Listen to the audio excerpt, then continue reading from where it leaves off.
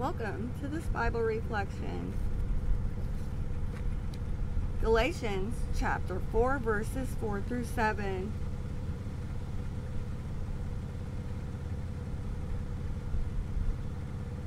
But when the fullness of time had come, God sent his Son, born of a woman, born under the law, to ransom those under the law, so that we might receive adoption.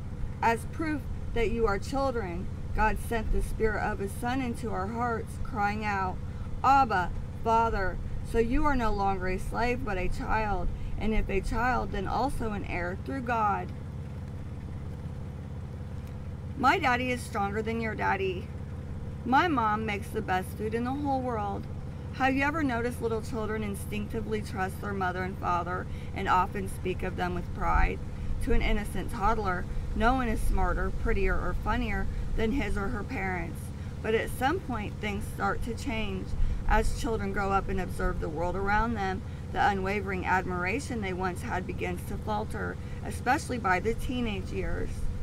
Then perceptions of parents can shift, causing indifference and ingratitude. What happened? Teens naturally want to feel independent, which leads to questioning parental views and discovering that mom and dad are fallible human beings.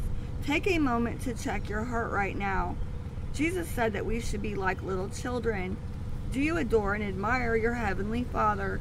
Do you talk to others about Him with the same reverence and joy as when you first believed?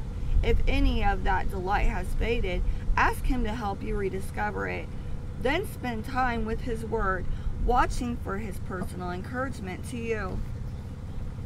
Thank you for listening. God bless you, and I love you.